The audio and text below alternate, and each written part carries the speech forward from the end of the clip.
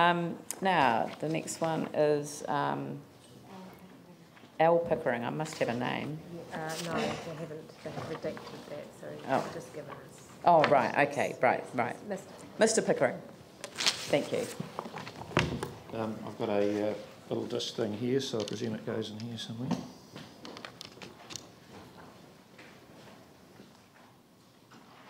We've had a few problems with the overhead um, system at the moment.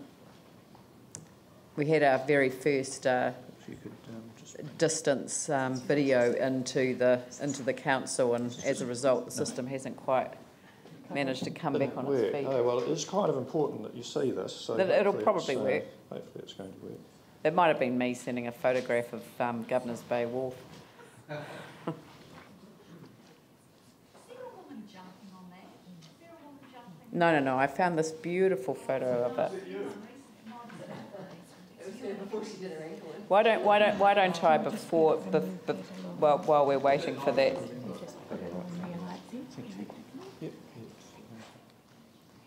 While while we're waiting for that to happen, why don't I forward this gorgeous picture to councillors?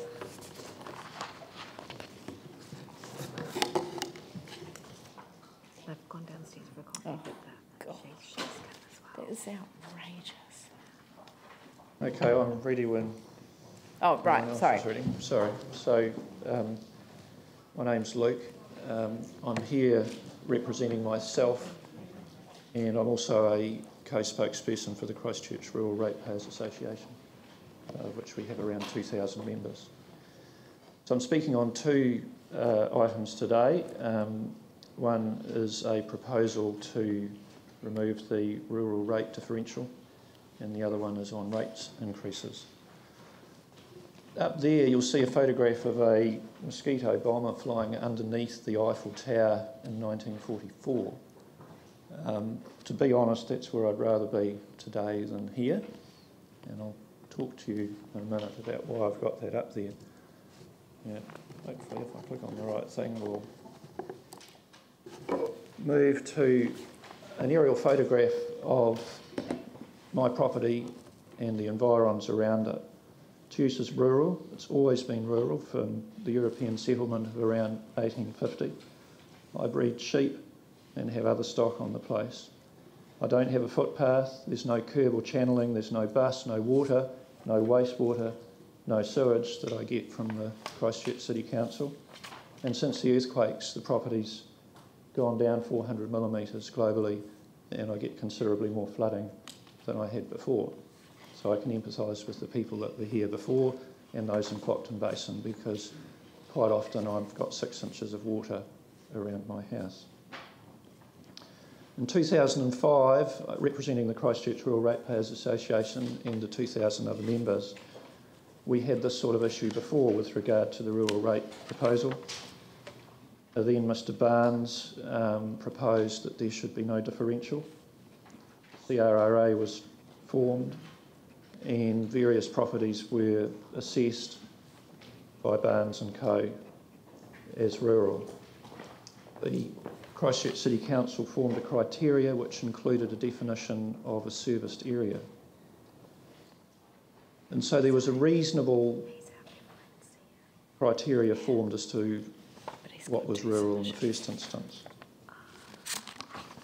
And uh, my property and all of those in that area there were assessed as rural. Then in 2013, there was a proposal by two people, Messrs Hamilton and Thompson, to rezone my area, not that they bothered to ever talk to me about that. That came up to a hearing, the Christchurch City Council, and I opposed that. In that hearing, the Christchurch City Council promised that my rates would remain rural and my property use would remain rural. That was also promulgated by the commissioners of that hearing when they made the decision to, to change the zoning. Subsequently, I appealed to the court on this, but Minister Brownlee, using the CER Act, quashed that. Now the Hamilton Thompson firm is in liquidation, and nothing's happened anyway because it was a bloody stupid proposal in the first place. Why would you build houses on a place that's full of liquefaction and has just sunk 400 millimetres? But I continue to use my property as rural, and I don't think you should rate it any other way than that. The proposal that your Mr Ballard's put forward is flawed. He had no supporting data. It doesn't have a basis in fact, and nor is it current practice. It bears little relation to the determination in 2005, which was reached after extensive consultation. It's not what was promised to me specifically in 2013 at the hearing and noted by the commissioners. And if staff find it difficult to determine what's rural, then I've proposed a solution which is in front of you um, that's based on current practice. If you did feel like carrying out this proposal, then I'd expect you to fix the flooding issues, repair the bridge, deal with the capital costs of the services that I provide on my property. Let's have a footpath and some curb and channeling while we're about it, and a bus, before I start paying. But I'd like to say specifically that I don't actually want any of these things, and that the differential was in recognition of the lack of them. But if there's going to be no differential, then I expect some equity on this. And as you can see, I've got reams of data here that provides the backup that Mr Ballard seems to be lacking.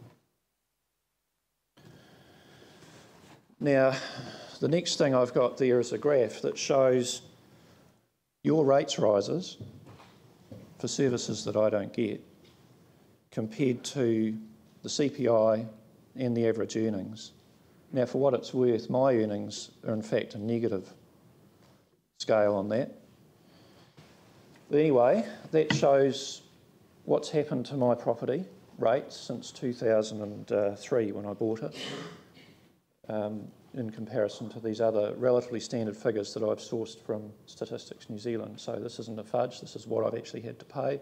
And as you can see, it's increasing considerably, in particular over the last year. I paid 50, nearly 15% more rates last year, and you're proposing to add 25 plus 8% on that for this coming year, plus 8 and 8 and 8, and whatever after that. Bearing in mind this is for nothing, pretty much, for me. Now, that's not sustainable, it's not fair, and it's not equitable.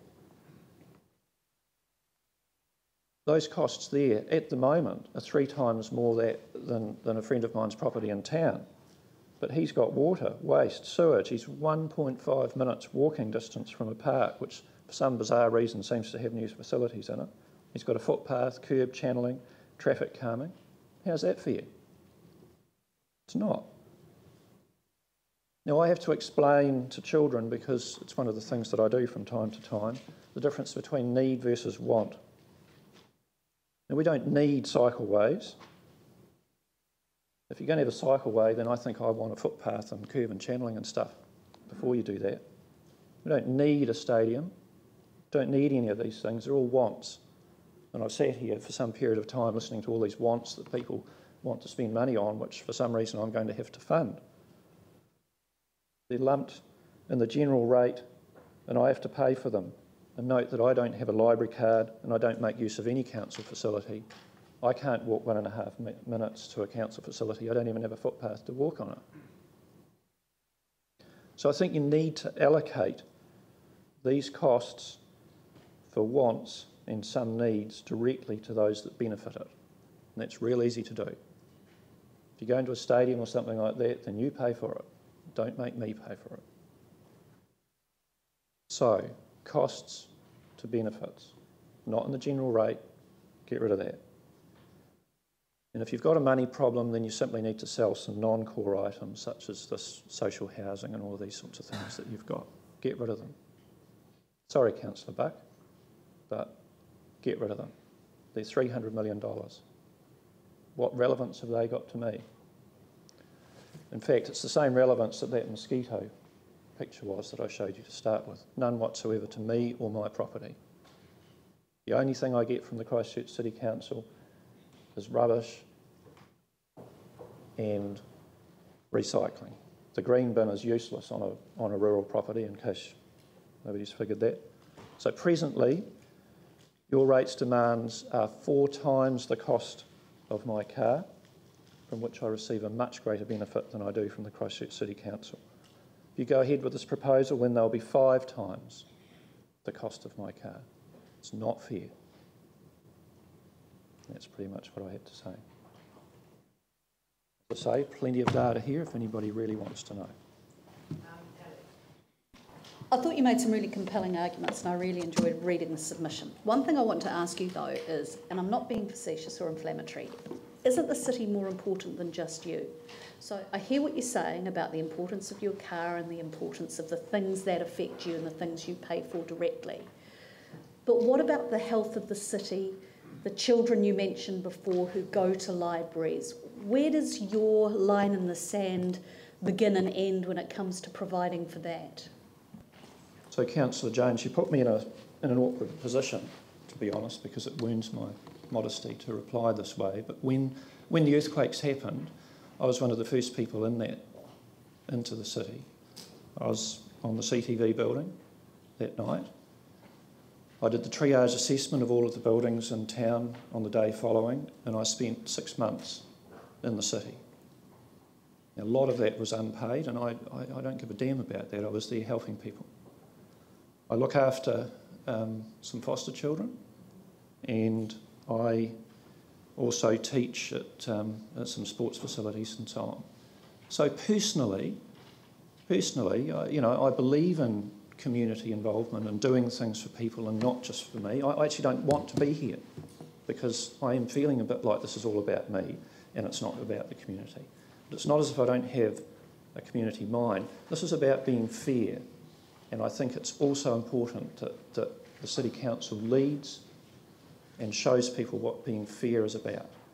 Now, it's not fair that I be paying four times more than somebody else who gets a whole lot more stuff from the Christchurch City Council. So that's it. Degrees, yeah? Is that your argument, degrees of what's fair and what's not? and how much you pay, etc. Well, I think it's very simple that if somebody uses something, they pay for it. Okay. And, and it's something that you can do, and it's, it's, it's within your powers within the Rating Act. And, and to an extent, you've made a recognition of that by having the rural rate dif- differential, which frankly I don't think is enough, but whatever. And now you're proposing getting rid of that. So I just don't think it's fair, Councillor Jones. I'm sorry, and, and I, I do. I mean, I, I actually feel guilty at, be here, at being here talking about me, but I am talking about 2,000 other people. And most of 1131, and um, most of them seem to have made a submission. So we've heard a lot about the rural rates differential. It will definitely be something that we have to address in uh, review of the long-term plan. There is more than 1,131 that are affected by these increases, though, Councillor Buck. Oh, okay. The figure we have Sorry, is so I'm just saying that, that I'm representing around 2,000 people. Okay. Right, Thank, thank you very much. And uh, we now have the Human Rights Commission, Richard Tankersley.